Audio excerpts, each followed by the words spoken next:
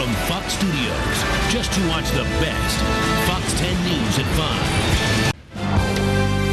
Cellulite, it is the enemy of a lot of women and one of the hardest things to get rid of. In tonight's Fox FYI, we take a look at some of the new high-tech ways to help fight it. I have tried massages and creams, but I never got any results from those. When it comes to battling cellulite, women will look for anything to destroy the lumps and bumps. But could it be that technology is the solution? If you understand cellulite, you understand that it's not curable, but you can get significant results that can have long term results.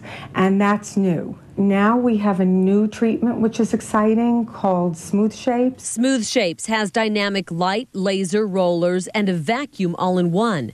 Dr. Wexler says it helps to open up the fat cells and liquefy them while increasing circulation and improving the tone and texture of skin. You're actually going to see changes in the skin that are going to last after your treatments for at least six months, and we're testing for even longer. But this is not the only solution. Dr. Jan Trokel is using two new treatments, including the Accent Laser, which uses radio frequency technology. Now, what happens is these radio frequency waves they affect different areas of the tissues. So, for example, the unipolar works deep down, and what it does, it actually shrinks the fat cells.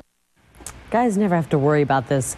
Dr. Trokel's other treatment, carboxy therapy, helps patients with more stubborn cellulite. Injecting CO2 tricks the body into believing it needs more oxygen, and new blood vessels will form, improving poor circulation, which helps fight cellulite.